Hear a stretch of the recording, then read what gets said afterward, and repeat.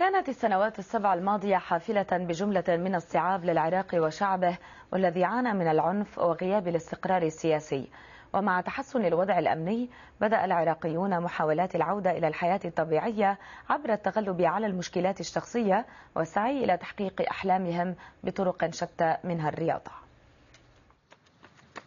إنه محمود كمال شاب عراقي فقد في عام 2007 22 من أفراد عائلته في يوم واحد ولم يبق له إلا أن يعيش على وقع خطواته تؤنس وحدته وتدفعه دفعا لتحقيق حلمه الرياضي بأن يكون واحدا من مشاهير عدائي المسافات الطويلة. خلاص معسكر التدريب بعد ذلك نرجع للعراق نبقى خمسة أيام أو ستة أيام.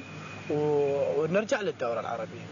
فرجعتي ورا خلص شهر اتصلت به لي طبعا قبل ما ارجع بثلاث أيام اتصال عادي. هالحكي اني صار لي شهر ب...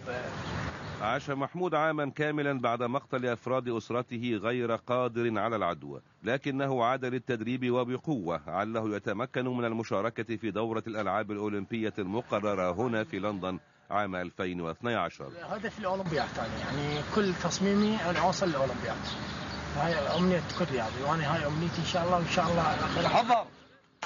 رياضي العراق كغيرهم من أفراد شعبهم يواجهون الكثير من الحواجز أمام تحقيق أحلامهم والعيش كغيرهم في بلد امن يقدم ما يحتاجه المواطن من خدمات عامة مناسبة.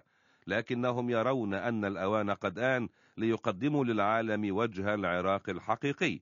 فهنا مثلا وفي ملاعب جامعة بغداد يتدرب هؤلاء ويحدوهم الأمل في القدرة على تمثيل العراق في أولمبياد لندن.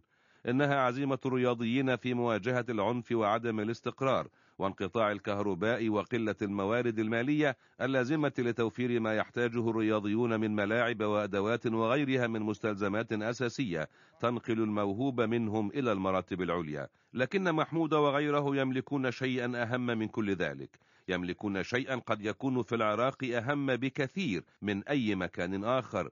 إنهم يملكون التصميم على النجاح رغم كل المعوقات.